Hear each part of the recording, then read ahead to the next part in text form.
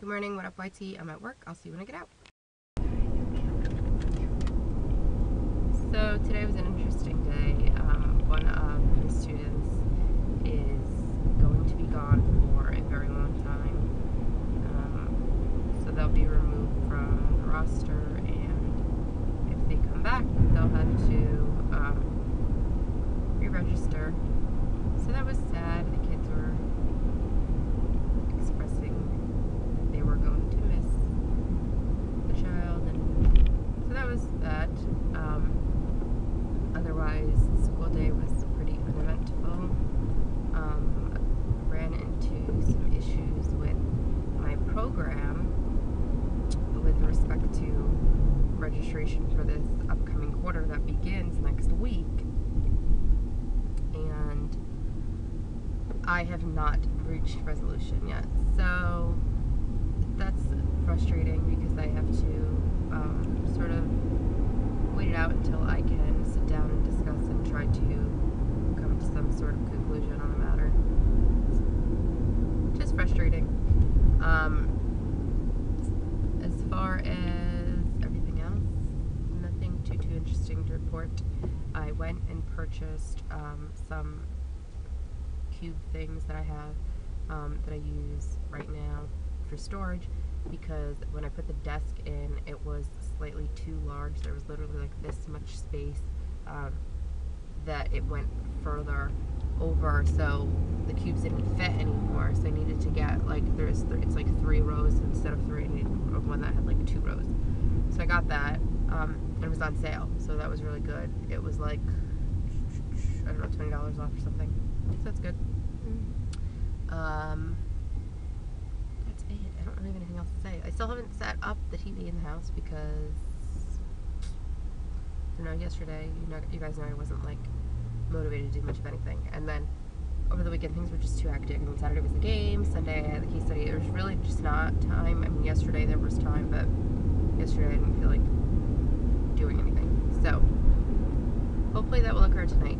It sucks because it gets so. I mean, first of all, I get up early, so I don't really like have energy to be doing a whole lot of stuff at midnight, even if I am awake.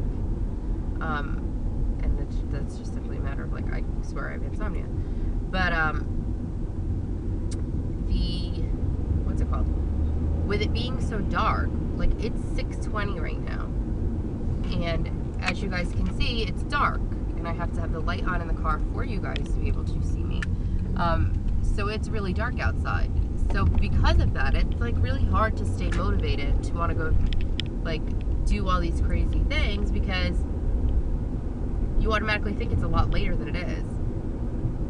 And so that's not cute. Um, I went and got my nails filled because it's been forever.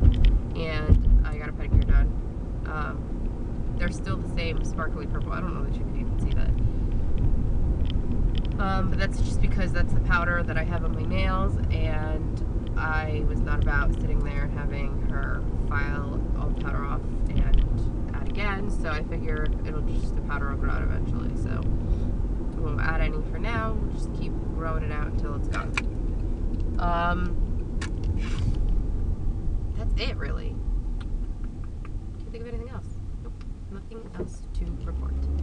Um, I have to find a school that teaches Spanish. That's something I guess I can report on. Because despite the fact that I took Spanish um, in my undergrad and was at a level that was considered like advanced conversation or something, I don't know. Basically, it's like the top level that you can take.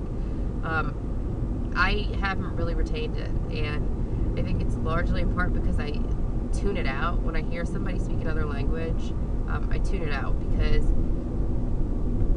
after a while, I tried to tune back in, but it gives me a headache because I I'm trying to translate and people are speaking really quickly, so I'm trying to remember words while they've moved on to the next, and it just makes my head hurt. Like legitimately gives me a headache.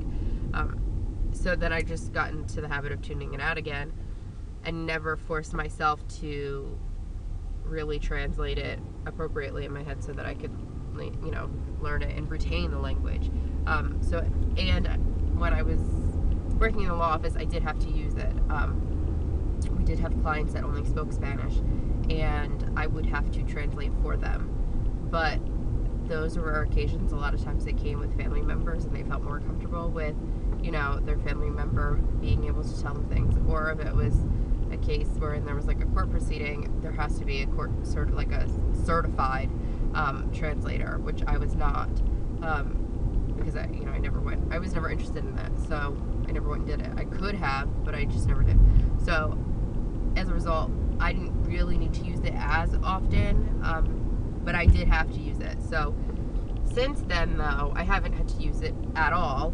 Um, well, that's really a lie. I mean, the students in the classroom are majority of them speak Spanish in their homes and I have two that are very new here, and Spanish is their primary language and struggle with English. So there are times where I find myself attempting to use my Spanish now to translate stuff so that they understand.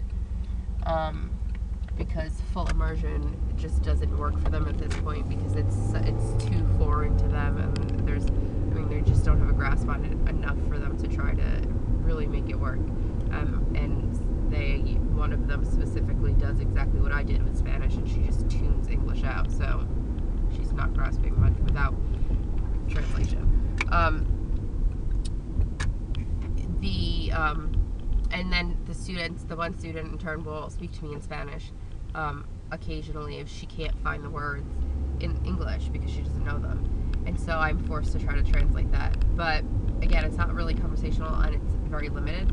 So I would like to be at a point where I can fully converse again in Spanish, um, especially considering the vast majority of people, like I said, have Spanish as their first language. And so parent teacher conferences are a bitch and half because the parents can't understand me and I can't understand them without losing my mind. And even then, sometimes there are words that I've just forgotten and I no longer have a handle of. So that sucks. I need to figure out, um, you know, I need to get it back. So I'm going to start again at the bottom. Well, probably not the bottom because that would be way too boring. But start again um, and get it back and then force myself to use it so that I don't lose it because it's a language that I wouldn't converse in anyway. So it's really easy for me to just forget it. So that's the goal. I have to find that. It's one of the things that I need to do. It's on my to-do list. I need to figure it out. Um, I just gotta get on it. So that's it for now. So I didn't even look at this. I look a hot mess right now. But anyway, um, I set up the new TV finally, and I was trying to set up the DVRs because, I mean, not DVRs, the DVD players, because um, I have three of them, one for each TV that I need it to be hooked up to, and um, for some reason, none of them worked, but I got them all to work today, so that was the big plus. And then my god sister's man was on Chopped today um, on the Food Network, and so I was waiting to tune in, and um, I tuned in, and I was really nervous because in the first round, he didn't do all that well, and like none of them did. So I was like, oh my god, I don't know how this is gonna go. I've never been more on the edge of my seat in my entire life. Um, it's crazy how knowing somebody makes it like that much makes you that much more invested into it. Um, but he won, so that was such a big thing. And I went because back home it's like after midnight, so I went on Facebook to go post something to my god sister to congratulate him her on his win, and they're engaged as of tonight. So two big exciting things for her. I'm so so so happy for her. Um, she had a relatively rough year um, recently.